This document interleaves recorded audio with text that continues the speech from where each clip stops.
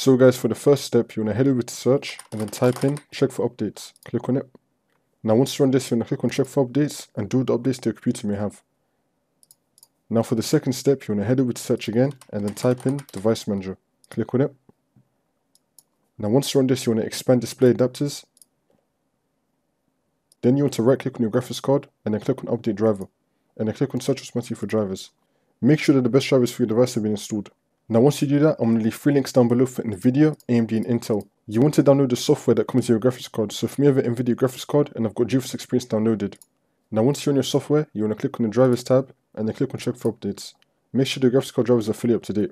Now for the next step, you want to head over to search and then type in File Explorer. Click on it. Now once you're on this, you want to click on this PC. Then you want to find where you have Fortnite installed. So for me it's on my C drive. Scroll down, Program Files, scroll down again. Epic Games, Fortnite, Fortnite Game, binaries, Win64, and then you want to delete the easy anti-cheat folder. So just delete this and then click on continue. And then once you delete that, you want to head over to the Epic Games launcher and then you want to find Fortnite. You want to click on the three dots, click on manage, and then click on verify, which will then add in a new easy anti-cheat folder.